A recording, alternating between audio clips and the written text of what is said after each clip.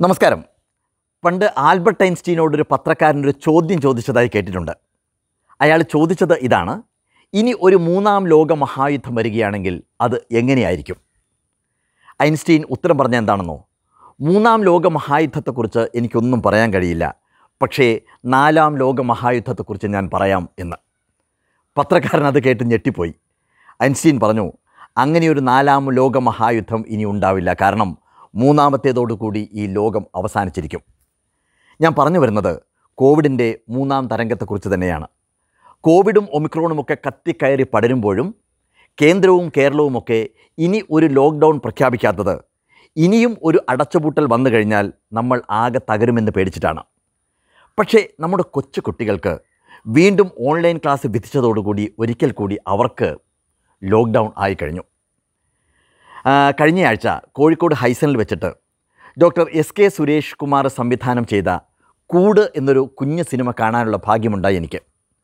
ഒരു കുട്ടിയും കൂട്ടിലടയ്ക്കപ്പെട്ട പക്ഷിക്കുഞ്ഞും തമ്മിലുള്ള സ്നേഹബന്ധത്തിന്റെ നാലര മിനിറ്റുള്ള ഒരു സിനിമയാണിത്. അതിന്റെ അവസാനം ആ കുഞ്ഞുമോൻ ജനലഴികൾക്കുള്ളിലൂടെ പുറത്തേക്ക് നോക്കിക്കൊണ്ട് പറയുന്ന ഒരു സംഭാഷണമുണ്ട്. ഒരു കണക്കിന് നമ്മൾ തമ്മിൽ ഒരു വ്യത്യാസവും നീ കൂട്ടിലും ഞാൻ വീട്ടിലും എന്ന്.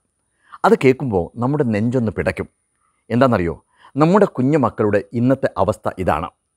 എവിടെ വായിച്ചിട്ടുണ്ട് ഒരു പക്ഷി പക്ഷിയായി തീരുന്നത് അതിന് ചിറകുകൾ മാത്രം ഉണ്ടാകുമ്പോഴല്ല പറക്കാനുള്ള ആകാശം കൂടി ഉണ്ടാകുമ്പോഴാണ് എന്ന്.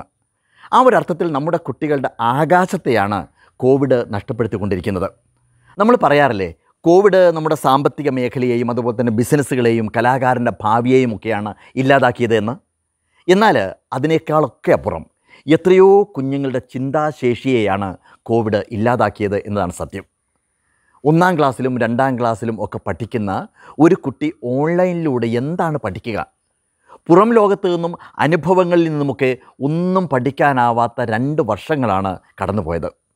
കാലം അവരെ പിന്നോട്ട് വലിക്കുമ്പോഴും പ്രായം അവരെ മുന്നോട്ട് നയിക്കുകയാണെന്നുള്ള കാര്യം നമ്മൾ മറക്കരുത്. ഈ ഒരു ബോധം നമ്മുടെ മാതാപിതാക്കളിലും സമൂഹത്തിലും എത്രമാത്രം സീരിയസ് ആയിട്ട് കടന്നു വന്നിട്ടുണ്ട് എന്നത് തന്നെ സംശയമാണ്. ആരുടെയും കുറ്റം കൊണ്ടല്ല ആരെയും കുറ്റം പറയുകയല്ല. എങ്കിലും ഈ ഒരു കാര്യത്തിൽ നമ്മൾ മാതാപിതാക്കൾ കുറേ കൂടി ബോധവാന്മാരാവേണ്ടതുണ്ട് എന്നാണ് എനിക്ക് തോന്നുന്നത്. അപ്രതീക്ഷിതമായിട്ടുണ്ടാവുന്ന അനുഭവങ്ങളിലൂടെ മാത്രമേ ഒരു കുട്ടിയുടെ ലോജിക്കൽ ഇന്റലിജൻസിന് ഡെവലപ്പ് ചെയ്യാൻ സാധിക്കുകയുള്ളൂ. അതിലൂടെയാണ് ഒരു കുട്ടി തന്റെ സഹജവാസന തിരിച്ചറിയുന്നത്. മറ്റുള്ളവരുടെ ആശയങ്ങൾ എത്ര വിലപ്പെട്ടതാണെങ്കിലും അവ അവനവന്റേതുമായിട്ട് ഒത്തുപോകുന്നില്ല എന്നുണ്ടെങ്കിൽ അത് ഉപയോഗശൂന്യമാണ്. ഈ ലോകത്ത് അനുഗ്രഹീതരായവർ മുഴുവൻ തങ്ങളുടെ ആത്മബോധത്തിനനുസരിച്ച് ജീവിച്ചവരാണ്.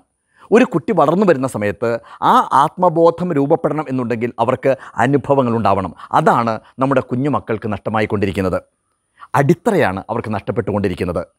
അടിത്തറ ഇല്ലാതെ ഒരു കെട്ടിടവും നമുക്ക് കെട്ടിപ്പൊക്കാൻ സാധിക്കില്ല. അടിത്തറ ബലമില്ലെങ്കിൽ കെട്ടിടം നിലനിൽക്കില്ല. പക്ഷേ അടിത്തറ മണ്ണിലടിയിലായതുകൊണ്ട് അത് നമ്മൾ കാണാതെ പോകുന്നു എന്ന് മാത്രമേ ഉള്ളൂ. അതുപോലെ നമ്മൾ നമ്മുടെ പ്രശ്നങ്ങൾ മാത്രമാണ് ചർച്ച ചെയ്തുകൊണ്ടിരിക്കുന്നത്.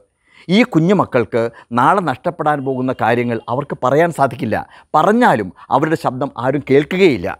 അതുകൊണ്ട് നമ്മൾ മുതിർന്നവർ ഇത് ചർച്ച ചെയ്തില്ല എന്നുണ്ടെങ്കിൽ ആ തലമുറയോട് നമ്മൾ ചെയ്യുന്നത് വലിയൊരു ക്രൂരതയായിരിക്കും. അതുകൊണ്ട് അതൊന്ന് സീരിയസ് ആയിട്ട് ചർച്ച ചെയ്യണം എന്ന് ബോധ്യപ്പെടുത്താനാണ് ഈ ഞാൻ ഈ വീഡിയോ ചെയ്യുന്നത്. എല്ലാവർക്കും നന്ദി നമസ്കാരം.